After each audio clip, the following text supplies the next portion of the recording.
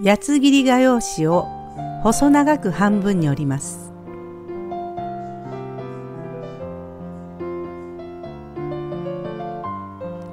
折り目のところで切ります。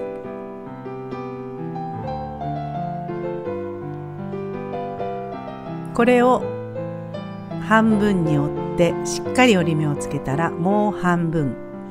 もう一度半分に折ってくるりと反対にして今度は半分ずつ折ります。しっかり折り目をつけたら一度広げます。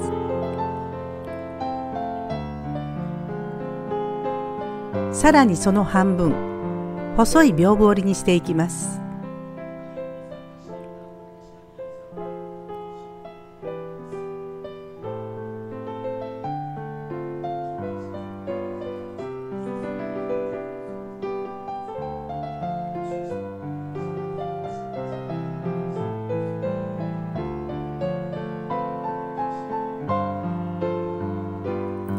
金か銀のビニタイを用意します。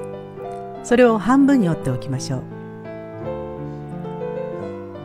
屏風折りの山の部分からビニタイを引っ掛けます。そしてキュッとねじります。やりにくい場合は長いビニタイを使いましょう。端の短い方2センチぐらい残した方を広げて折り癖をつけます。長い方をぐっと広げて、えー、留めつけると扇形の出来上がりです。紅白で作ると綺麗です。